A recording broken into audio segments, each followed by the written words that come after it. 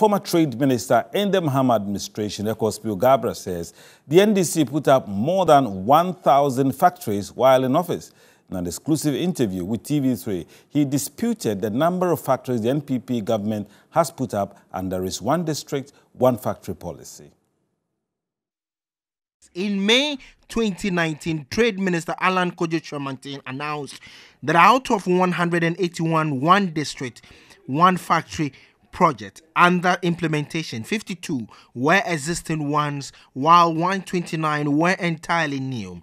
56% of them, he said, were into agro processing and 22 into primary agriculture, a claim his predecessor has rejected vehemently. The only thing that may seem to be new are the factories of individual businessmen entrepreneurs, not factories with one city or 10 pursuers of government equity. Somebody has built his own factory.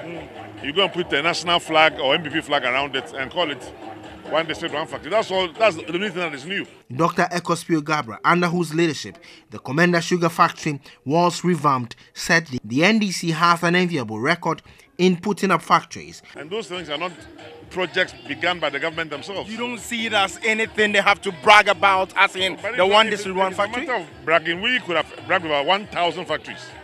About one, more than 1,000 factories were created during the last Mahama administration through the National Board for Small Scale Industries, through the what became the Export Import Bank, which used to be the Agricultural and uh, uh, Export Development Fund.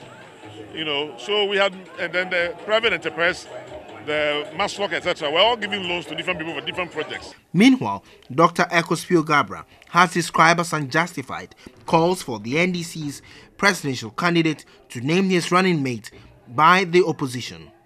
No, I mean, the Electoral Commission doesn't ask political parties to submit running mate names until sometime in August or September of an election year.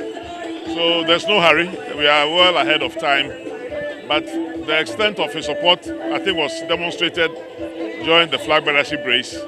And the fact that he is the only one in the NDC who has been a president before and who is still eligible to be president. Who should be the running mate of uh, JM? Well, I think he will, he will decide that at the right time. He has many people he can choose from, more than 20 very, very well qualified qualities people.